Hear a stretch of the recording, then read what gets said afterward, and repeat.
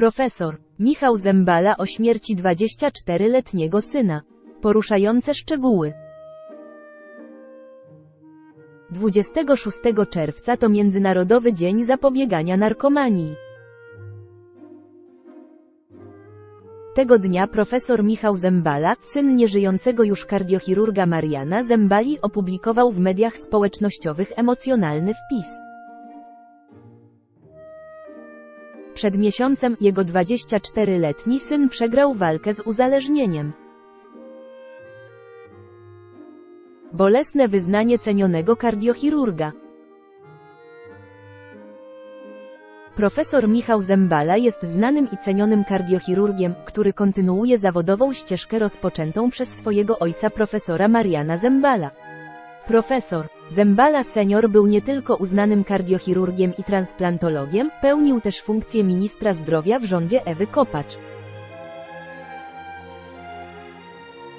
Profesor Michał Zembala w środę opublikował w mediach społecznościowych wpis, w którym podzielił się ogromną tragedią, jaka w ostatnim czasie dotknęła jego rodzinę. Miesiąc temu zmarł mój najstarszy syn. 24-latek, który mimo wsparcia rodziny i bliskich przegrał walkę z nałogiem, zaczyna profesor. Koniec. Dalej nie idę. W opublikowanym wpisie profesor mierzy się z rozmaitymi wspomnieniami związanymi z synem. Niektóre z nich są ciepłe i radosne, inne wyjątkowo mroczne i bolesne. Pamiętam dni, gdy po skończonym zabiegu biegałem po ulicach Katowic, szukając go w melinach i zakątkach bram. Pamiętam dni, te nieliczne, gdy zjawił się w domu z tym samym uśmiechem, rozmawiając z 15 lat młodszą siostrą. Pamiętam dni, gdy wiozłem go na SOR z prośbą, by tam pozostał. Dni, gdy w trakcie pobytu w ośrodku cieszył się z rosnącej jego roli w społeczności, o zadaniach i planach.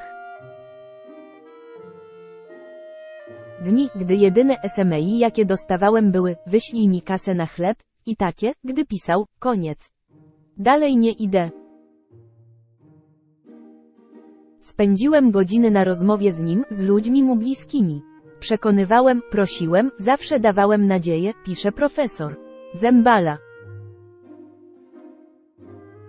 Jak zapobiegać? Profesor Michał Zembala swoimi doświadczeniami podzielił się w nieprzypadkowym czasie.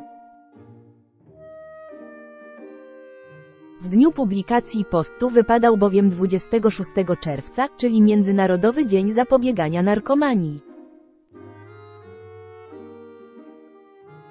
Opierając się na własnych, niezwykle trudnych przeżyciach, profesor podejmuje wyzwanie i stara się udzielić odpowiedzi na wyjątkowo skomplikowane pytanie. Święto, ustanowione przez Hu lata temu, by wzbudzić naszą czujność i uwagę. by pamiętać zarówno o tym parszywym zagrożeniu, o tych, którzy z nałogu wyszli, o tych, którzy w nim trwają, ale i o tych, którzy z jego powodu odeszli.